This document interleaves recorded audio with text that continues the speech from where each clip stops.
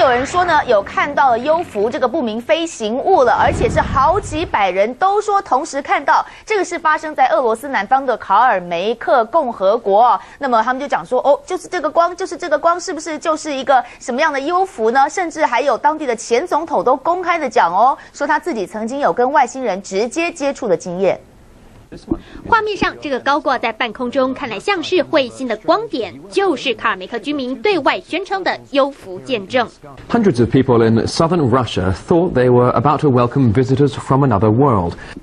位于里海边境的卡尔梅克共和国，全国只有三十万人，以蒙古族后裔居多的卡尔梅克是欧洲唯一信奉藏传佛教的国家。在笃信东正教的俄罗斯邦联各国中，原本就比其他共和国多了些神秘色彩。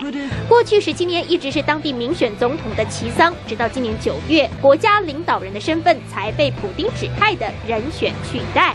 今年四月，现年四十八岁的他，在接受媒体专访时，曾公开表示，早在一九九七年，他就已经有过与外星人的第三类接触。Yeah, uh, I, I, I was taken by my apartment in Moscow to this spaceship. They're like, like uh, people like ours here.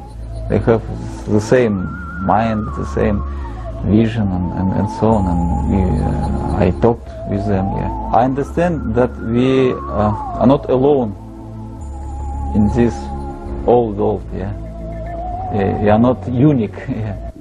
当时这段自白还引起克里姆林宫不小骚动，认为这位担任穷国领导的富豪根本就是 t a k a p a n k i 除了卡尔梅克之外，最近在莫斯科和南美洲的智利也都有人拍下了宣称是幽浮现形的影像。